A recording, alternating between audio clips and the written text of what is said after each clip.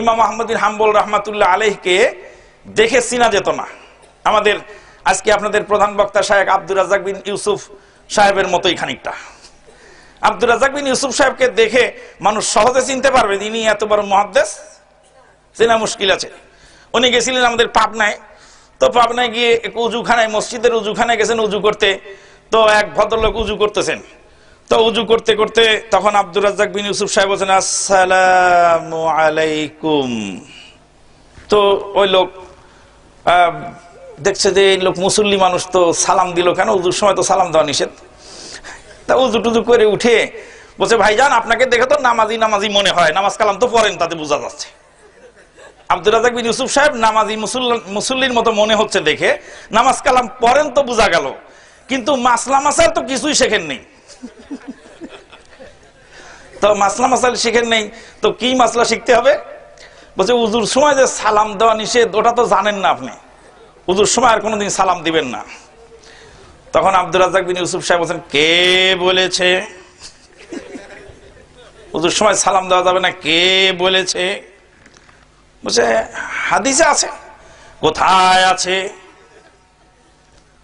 লোক তখন বুঝে ফেলছে যে ইনার কথার ভয়েস শুনে তো সাধারণ মুসলিম মনে হচ্ছে না।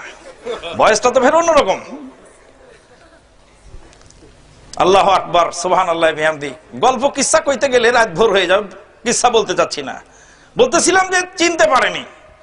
আমি তো বাহারাইনে আমি আমার বাসস্থান থেকে অফিসে সকাল বিকাল হেঁটে যাতায়াত করতাম। হেঁটে যাতায়াত করে এই কারণে, কারণ আমার ডায়াবেটিসের কিছু প্রবলেম আছে। যা হাঁটলে আমার একটু সুবিধা হয়। বাসাটা ওই জন্য অফিস থেকে খানিকটা দূরে নেওয়া হয়েছে। সকাল বিকাল হেঁটে যাই। তো একদিন সকালে হেঁটে যাচ্ছি আমার বাসস্থান থেকে বাহারাইনের আমার সেই ইসলামিক সেন্টার হেদায়া সেন্টারের দিকে। যাওয়ার পথে রাস্তায় দেখছি বাংলাদেশের কিছু তরুণ অরুণেরা, তারা ওখানে কনস্ট্রাকশনের কাজ করে, রাস্তার কিনারে কার্পেট বিছিয়ে বসে নাস্তা খাচ্ছে। রুটি খাচ্ছে আপনার সবজি এবং ই দিয়ে। কি বলে হ্যাঁ সবজি দিয়ে রুটি তারা খাচ্ছে ওখানে। সবজি ডাল দিয়ে রুটি খাচ্ছেন তো আমি যাওয়ার পথে বললাম আসসালাম আলাইকুম ওরহমতুল্লাহ বারাকাত ওরা মনে মনে আমারে ভাবলো যে আমি কোনো অ্যারাবিয়ান লোক। বাংলাদেশি মনে করেনি। অ্যারাবিয়ান লোক মনে করে বসে "এই, তোর আক্কেল হয় নাই? তুই আরব দেশে বাস করো কিন্তু মাসলা মাসাইল কিছু শেখো নাই। বেআদব আরবি বলতেছে আমাকে। আদব শিখাচ্ছে আর কি। বলছে, খাওয়ার সময় সালাম দেওয়া নিষেধ, জানো না? তো ও মনে করছে যে আমি আরবি মানুষ, যার ফলে বাংলায় বলে দিল। বোঝা গেল এক বুড়ি আর এক বুড়ি রে কয় নানি শাশুড়ি নিজেই জানে না আর একজনকে তালিম দিচ্ছে। বলতেছিলাম